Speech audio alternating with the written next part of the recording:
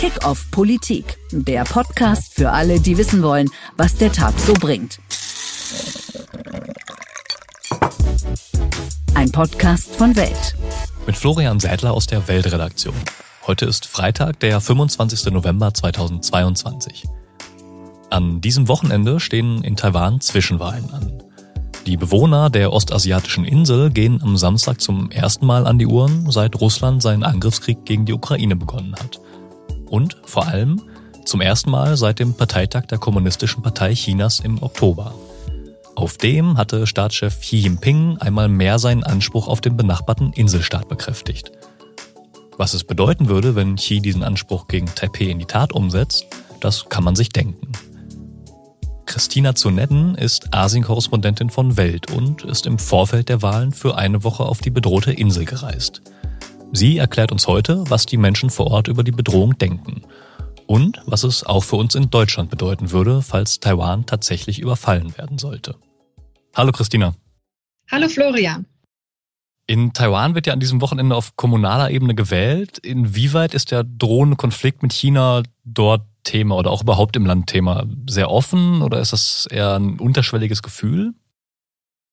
Ja, am 26. November sind hier Kommunalwahlen, die alle vier Jahre stattfinden.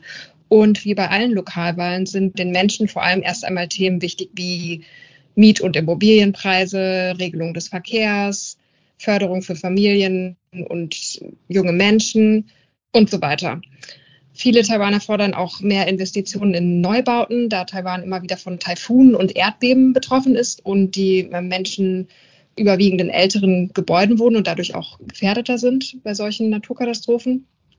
Aber das Thema China brodelt trotzdem unter der Oberfläche, allein schon, weil China zum Teil versucht, die Wahlen auch zu beeinflussen.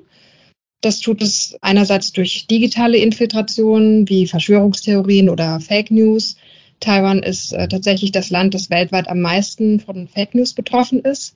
Und die kommen auch hauptsächlich aus China. Und China versucht auch ganz klassisch Menschen zu bestechen. Dies zeigt zum Beispiel ein Fall von gestern, wo ein General der taiwanischen Armee 560.000 New Taiwan Dollar in Bestechungsgeldern von der kommunistischen Partei Chinas erhalten hat und einen Brief unterschrieben hat, in dem er dem Mutterland in Anführungsstrichen Treue geschworen hat und versprochen hat, es im Falle eines Krieges zu unterstützen und die Vereinigung mit Taiwan voranzutreiben. Auch ist China dieses Jahr vermehrt Thema, weil Nancy Pelosi ja Anfang August in Taiwan zu Besuch war und China seitdem regelmäßig Militärübungen vor der Küste Taiwans abhält. Und diese ständigen Provokationen sind mittlerweile zu einer neuen Normalität geworden. Aber seit Russland in die Ukraine eingefallen ist, sind sehr viele Taiwaner sensibilisiert dafür, dass ihnen das auch passieren kann. Und tatsächlich wird Taiwan hier auch oft mit der Ukraine verglichen.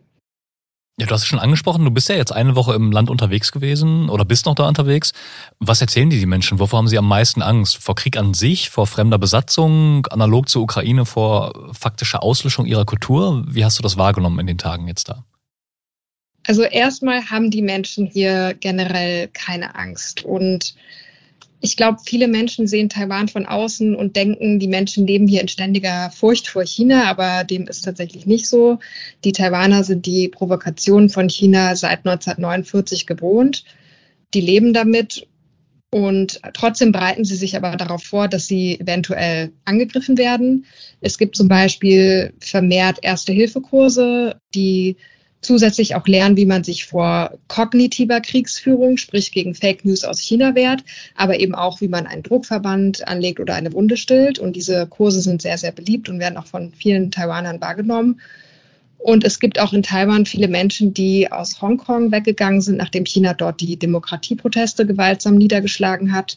Ich habe zum Beispiel eine Wahlhelferin aus Hongkong kennengelernt, die die taiwanische Präsidentin Tsai Ing-wen zitierte, indem sie sagte, Freiheit und Demokratie sind wie Luft, du atmest sie, ohne darüber nachzudenken, bis sie dir genommen werden. Und diese Frau aus Hongkong hilft bei den Wahlen mit, obwohl sie hier nicht wählen darf, einfach weil sie so dankbar dafür ist, dass sie hier halt in einer Demokratie leben darf. Den Menschen hier ist Demokratie also extrem wichtig. Sie ist Teil der nationalen Identität. Das sieht man auch auf den Wahlveranstaltungen. Die sind sehr, sehr bunt und lebendig. Ich war auf einer Rallye am Sonntag und die ähnelte eher einem Karneval als einer Wahlkampfveranstaltung. Da schwebten über den Menschen hausgroße Dinosaurier oder Blumenluftballons. Es wurde musiziert. Die Hunde waren verkleidet mit der Flagge von der Democratic Progressive Party, die DDP. Und die Leute schmeißen Knallerbsen auf die Straße, die dann krachend explodieren. Und dass die Demokratie so lebendig ist, liegt auch daran, dass Taiwan erst seit den 80er Jahren überhaupt demokratisch ist. Aber ja, also viele haben jetzt keine Angst, würde ich sagen, aber ergreifen trotzdem Maßnahmen dafür, dass China eventuell etwas Unerwartetes tut. Weil eigentlich geht man davon aus, dass China nicht in den nächsten Jahren angreifen wird, weil es auch zu teuer wäre, weil die PLA, also die Volksbefreiungsarmee, das Militär Chinas, ist noch gar nicht dazu bereit. Und China ist auch extrem von, von, also wirtschaftlich abhängig von Taiwan, vor allem von den Computerchips, so wie übrigens äh, der Rest der Welt. Aber seit Putin in die Ukraine eingefallen ist, denken die Menschen, dass es durchaus möglich ist, dass Xi Jinping etwas Ähnliches tut. Du hast ja auf deiner Reise auch den taiwanesischen Ort Kinmen besucht, der in Sichtweite Chinas liegt. Ich glaube, es waren knapp fünf Kilometer. Also man kann wirklich die Küste sehen. Und auf der anderen Seite ist die eigene Hauptstadt Taipei knapp 300 Kilometer entfernt. Wie nimmt man die Situation dort in diesem Ort wahr? Die Kinmen-Inseln liegen, wie du schon gesagt hast, 300 Kilometer von Taipei und nur fünf Kilometer von Xiamen. Das ist eine chinesische Großstadt, dessen Wolkenkratzer man von Little Kinmen, also es gibt Big Kinmen und Little Kinmen, das besteht also aus zwei Inseln, die Kinmen-Inseln. Also von der kleineren Insel sieht man diese Wolkenkratzer in China sehr, sehr deutlich. Und die Menschen, die auf Kinmen leben, fühlen sich China auch viel näher als dem Rest von Taiwan. Das liegt daran, dass es vor allem vor der Pandemie sehr viel Austausch zwischen den beiden gab. Die Menschen haben zum Beispiel die Fähre nach China genommen, um dort einkaufen zu gehen oder ins Restaurant zu gehen oder auch Familie zu besuchen. Also die haben auch sehr viel Familie in China und heiraten zum Teil auch aus China. Also ich habe dort auch viele ähm, chinesisch-taiwanische Paare getroffen auf der Straße. Andersrum sind die Chinesen genauso nach Kinmen gekommen, um zum Beispiel zum Arzt zu gehen oder auch einfach die Insel zu besuchen. Und es gibt seit letztem Monat eine Brücke, also eine neue Brücke zwischen Big Kinmen und Little Kinmen. Und die Bewohner Kinmens sind fast alle dafür, dass man auch eine Brücke nach China bauen sollte, was natürlich undenkbar ist. Und die Einwohner von Kinmen sind der Meinung, dass sie eines Tages mit China vereint werden, dass sie sozusagen Brüder sind, dass das unausweichlich sind und wenn man sie dann fragt, ob sie denn auch bereit sind, ihre Demokratie aufzugeben und sozusagen unter dem chinesischen System zu leben, dann zögern sie doch etwas und ja, das wollen sie eigentlich nicht und erzählen dann auch zum Teil, dass ihre Familie in China neidisch ist, dass sie so viele Freiheiten haben und dass sie zum Beispiel auch ihre Politiker kritisieren dürfen. Aber die Leute auf Kinmen wissen halt auch, dass China stärker ist und dass sie ihnen eigentlich unterlegen sind und wollen deswegen freundschaftliche Beziehungen zu China. Und als letztes ist noch zu sagen, dass, also Kinmen ist auch bekannt dafür, dass dort in den letzten Wochen sehr viele chinesische Drohnen drüber geflogen sind, äh, was auch als militärische Provokation zu verstehen ist, obwohl China gesagt hat, es handelt sich um äh, zivile Drohnen. Und danach habe ich die Bewohner auch gefragt und die haben dann gesagt, also wir haben hier den chinesischen Bürgerkrieg erlebt bis 1949, dann die Militärdiktatur bis 1992, wo sie alle zwei Tage bis in die 80er Jahre äh, bebombt wurden. Und also, dass da jetzt so ein paar Drohnen drüber fliegen, das ist halt einfach nichts dagegen. Wie sehr sollte man sich denn in Deutschland Sorgen machen um diesen brodelnden Konflikt? Wir sind ja derzeit sehr beschäftigt mit dem Krieg in der Ukraine, mit der Energiekrise und Taiwan scheint erstmal sehr weit weg zu sein. Also Deutschland sollte sich auf jeden Fall damit beschäftigen. Ein Krieg um Taiwan hätte weitaus katastrophalere Folgen als der Ukraine-Krieg. Das liegt erstens daran, dass sich in diesem Krieg die beiden mächtigsten Länder der Welt, China und die USA, gegenüberstehen würden. Und das hat natürlich Einfluss auf Wirtschaft, Lieferketten und so weiter. Und andererseits bekommt die ganze Welt seine Halbleiter und Computerchips aus Taiwan insbesondere von der Firma TSMC, die hier in den 80er Jahren von Morris Chang gegründet wurde und zum Beispiel Chips für das iPhone herstellt. Computerchips sind aber auch in Autos, Tablets, Computern, medizinischen Geräten und auch in Waffen. Ohne sie steht also die Welt still und die kommen fast zu 90 Prozent aus Taiwan oder aus Südkorea.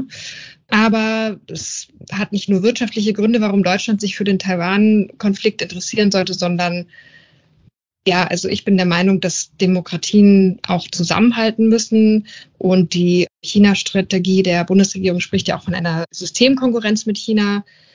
Und wenn China Taiwan einnimmt, dann wächst dieses autoritäre System. Außerdem sollte man auch nicht vergessen, dass Chinas Einfluss mittlerweile schon bis nach Deutschland reicht. Es gibt hier eine NGO namens Double Think Lab, die weltweit den Einfluss Chinas misst und Deutschland ist da bei dem sogenannten China Index in Europa an erster Stelle. Das heißt, Deutschland wird schon extrem von China beeinflusst und wenn Taiwan an China fällt, dann jetzt übertrieben gesagt, sind wir vielleicht irgendwann als nächstes dran. Danke, Christina. Gerne. Das wird heute wichtig. In Berlin entscheiden Bundestag und Bundesrat über den Bürgergeldkompromiss. Nach der Einigung im Vermittlungsausschuss sollen Bundestag und Länderkammer abschließend über die viel diskutierte Sozialreform abstimmen. Dazu findet die Haushaltswoche ihren Abschluss. Dabei soll unter anderem der Bundeshaushalt für das Jahr 2023 verabschiedet werden. In der Türkei sind zum Tag gegen die Gewalt an Frauen Demos in zahlreichen Städten angekündigt. Frauenrechtsorganisationen haben unter anderem in Istanbul zu Protesten aufgerufen. Die Regierung in der Türkei geht regelmäßig gegen feministische Proteste und Versammlungen vor und blockiert diese. Ich wünsche Ihnen einen tollen Start in den Tag und hoffe, dass Sie auch morgen wieder mit dabei sind. Dann für den Wochenrückblick mit meinem Kollegen Sascha Lehnhardt. Wie immer ab 6 Uhr bei Welt, Update und überall da, wo es Podcasts gibt. Eine Bitte noch zum Schluss. Abonnieren Sie Kickoff auf den Podcast-Plattformen und bewerten Sie uns bei Spotify und Apple Podcast. Für Lob, Anregungen oder Kritik erreichen Sie uns wie gewohnt per Mail unter kickoff.welt.de.